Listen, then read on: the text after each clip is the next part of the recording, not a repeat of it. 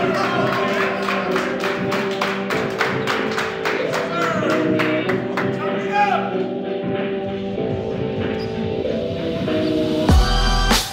looking to continue on with this offensive rhythm. Here's Vazquez, shot fake, and he puts up the first one of the night and throws it into Bannon.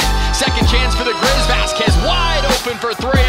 He knocks it down. The team will come. Stebbin passes out of it. Skip pass over to Bannon, who steps into a three, and Josh Bannon knocks He'll take the three, and he'll knock it down. It's a three-point parade to start. The Grizzlies are four of five from long range, and they lead 17 to nothing.